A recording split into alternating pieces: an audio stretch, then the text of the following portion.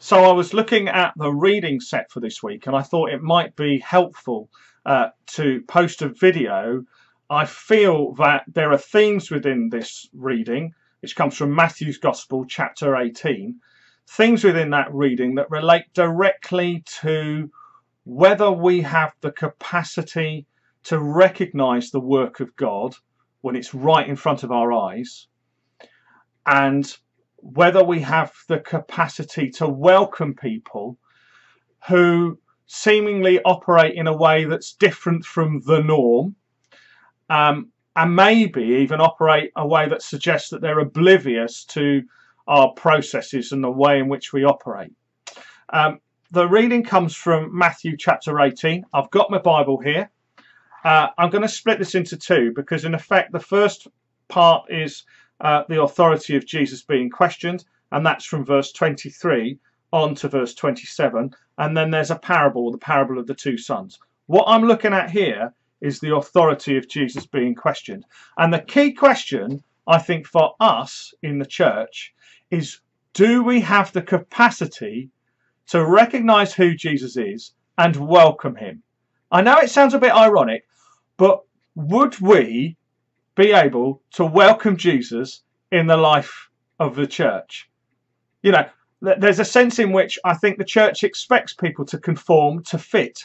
I wonder what Jesus would make of that today. But let's just look at the scripture and see what's being said. Just to um, to give some context, Jesus is in the temple court, so it's a public space, uh, and he is teaching. The people are clearly in, attentive, and during this time of teaching, he is approached by the chief priests and the elders. And they say to him, um, By whose authority are you doing this? Who gave you the authority to do this? Or, as I would translate it, what the heck do you think you're doing? Um, and Jesus responds by answering a question with a question. Uh, he's fully aware of the dynamic that's going on. I, I can't say what's in Jesus' mind, um, but it seems to me that you could look at this in a generous way and say that the teachers um, were looking to ensure that uh, the teaching of the synagogue was uh, maintained and safeguarded, and you could view it positively in the sense that the temple authorities are wary about the Jesus movement and where it might be headed, and they want to head off an uprising um, as people look to overthrow the Romans and assert their, their human rights.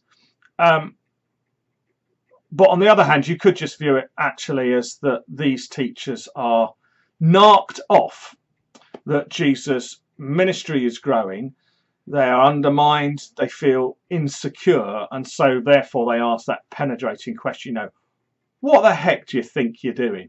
You know, who are you? So Jesus responds a question, that question with a question. And he says, Well, I'll answer you that if you answer me this question. By what authority did John the Baptist minister?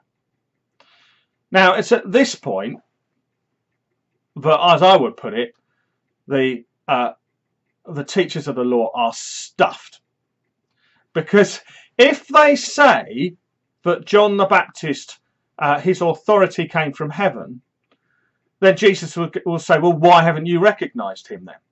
Uh, it's important to see, know that um, the Jewish, clearly these Jewish leaders did not recognize uh, that John the Baptist, you know, was a prophet sent from God.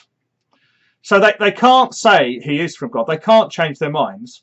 But they also they can't say, well, John had no authority at all. He was working off his own back, and uh, he was uh, human, uh, human authority, uh, because the people loved John the Baptist, and they recognise that he was from God. So they're stuck. So they don't answer. And so Jesus says, well, in which case, I'm not going to answer your question of by what authority I do these things. But I would say not to be naive about that response. In effect, Jesus is saying, You know exactly whose authority I have. The question is why you're not recognizing that. And I think that there's a real parallel here. Um, what we're seeing is a clash of Jesus's charismatic ministry. That is the sense that people recognize that he's gifted, he has a magnetic personality, and they recognize that he's come from God and that in following him, their lives can be transformed. That ministry is clashing with what you might call the traditional or the rational legal authority of the other religious leaders. And somehow they have lost the capacity to recognize that, irrespective of the fact that Jesus may appear very different, irrespective of the fact that he may um, have a different origin and he may not be properly authorized, irrespective of all of that, they've lost the capacity to recognize that God's work is being done through him. And more than that, there doesn't seem to be this capacity to change the system in order to recognize and affirm Jesus' ministry. Uh, and I think that that is the ground that we're in today when we think about fresh expressions leaders, uh, those within the church who are looking to encourage the church to uh, to minister in, in different ways that uh, reach people who the church has struggled to reach in the past. Those who are perhaps are calling changes for changes to the way in which we uh, we operate, our practice, our discipline. And there are those, dare I say it, within the church who kind of sit waiting for this fresh expressions kind of business to all be over.